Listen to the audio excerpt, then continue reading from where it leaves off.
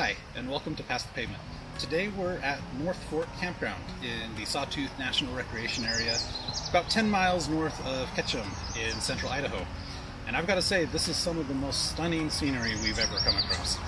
We're used to the Uintas coming from Utah, but this is just as beautiful and slightly different, and I can't believe that we haven't come here previously. We're already making plans to come back and highly recommend you make plans to travel here and explore for yourselves as well. This is our first multi-day excursion with the Patriot Camper and we are so excited. We are here for five nights for a final shakedown to work out any remaining kinks before our first dispersed camping trip coming up in a few weeks. And it's nice to have an established campground as a backup just in case things go sideways. We've previously done two overnight trips in the X3 closer to home to become familiar with the basics, but this trip will really test our readiness to be comfortable for hopefully up to a week in some of the more remote areas we visit. We want to share some of the things we've learned, challenges, and other initial impressions of our Patriot Campers X3.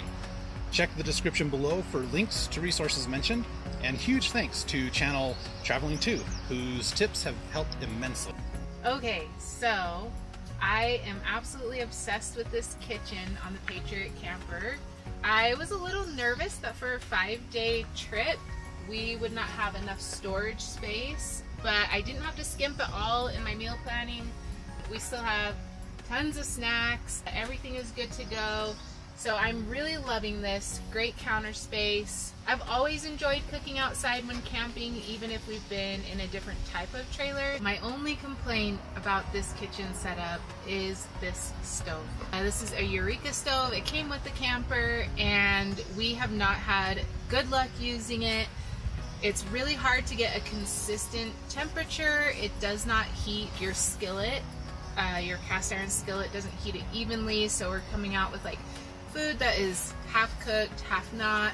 Also, we've noticed if we're trying to use both burners at the same time, one of the burners will just go out randomly. So we've been struggling with this and we got an idea from the Traveling Two's YouTube channel to swap this out for a 12 volt oven which I'm actually really excited about. So it'll be great. We'll have an oven and then we're going to use our Jetboil Genesis, which we've been using for a few years now camping and we love its consistency. It packs up really nicely and we've literally had no issues with it. In fact, I honestly prefer it over my stove top at home.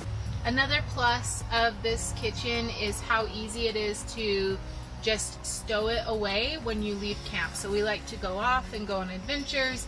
Um, and we are in bear country, so we can't just leave this pantry full of food for any old bear to walk up and take. So I do love that you can just pop this back in, lift up this door, it locks real tight and we don't have to worry about any of our food. Another thing that we love and have been really impressed with our camper is the amount of storage that we have and how easily accessible it is at all times. So this is the pull-out storage. It's just one of the many storage drawers. We love this one because you can pack it up while the camper is all the way closed and then you can also access it from the inside, which makes it really convenient if there's a game or something that you want to grab while you are hanging out inside the camper and you don't want to have to come out to get that. We do want to add some more storage bins and kind of figure out the best way to keep it organized and utilize it the very best way. So we are working on that and we will keep you guys updated on any cool solutions that we find but we love this. There is many other little cubbies all around. The outside, there's a wet storage as well. And on the inside, we thought there was gonna be a lot less than what it is. We can fit so much. So we do have the coffee lift. We aren't going to be using that as a coffee lift. I think we'll uninstall that and actually just have a storage area um, because we like making our coffee outside in the morning. And then under the bench, we have extra storage areas for like blankets or our chairs. And then also, like I said, we can access that big storage drawer underneath the bench right here inside of the camper. Another really useful area of storage are these, we call them our little personal drawers. where we can store whatever we want. For me personally, I actually like to keep like my dirty clothes in there or my toiletries, things like that tucked away. We've also utilized these Step 22 Hedgehog toiletry bags. They have been absolutely amazing. I am so impressed with the quality, how much I can fit into them, and then I love that it has the hook. The hook has been so perfect for us that we don't have to move it around when we're trying to maneuver around our little cabin. We can just have it hooked and it's there whenever we need it. One thing we weren't quite sure about was the uh, built-in barbecue in the man cave. And uh, so we actually had the dealer remove it because I thought it was just going to take up too much space.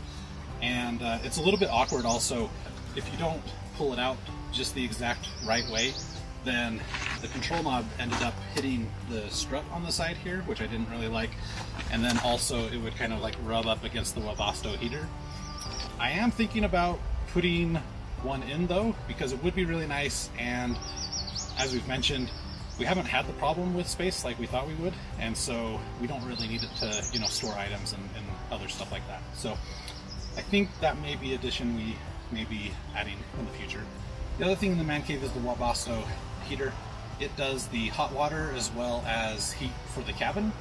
And I'd say this is probably one of the things that we've been most disappointed in so far. I'm reserving full judgment until we kind of work out some kinks here, but so far it's been disappointing. The hot water works fine, but the heater is almost non-existent. Our stopgap, since we haven't been able to use the heater successfully, is using our Mr. Buddy heater, which is definitely not ideal. It's a little bit scary and dangerous, but we've been extremely careful with you know how we've positioned it make sure that nothing is in the way there's no chance of it tipping over or anything like that that's really just a temporary solution until we figure out how to get the Webasto to work correctly or another you know solution the verdict's still out on this since this is our longest trip and we're not at a site with hookups we're closely monitoring our power use We've had our Dometic fridge powered the entire time and haven't really spared using the water pump or the lighting system. However, we have definitely used the inverter sparingly and really only to grind coffee every morning as well as we used an immersion blender for I think two of our dinners. And what I've learned is the inverter uses about 1.5 amps or around 18 to 20 watts just being on in standby. And so we definitely try to turn it on, you know, right before we use it and then turn it off immediately afterwards because otherwise it's just like a parasitic drain on the battery. On our two overnight trips, we didn't hate the mattress, but we could also see that it might start to get uncomfortable after a few nights. We got a memory foam topper from Costco and then cut it to size to fit the Patriot mattress since it's not a full queen. It's been really comfortable and we're glad we did it, although you can definitely feel it while opening the X3 up. We hope you have enjoyed our first impressions of the Patriot X3. If you have any questions, feel free to ask in the comments section. We would love to hear from you. And, as always, we hope to see you pass the pavement too.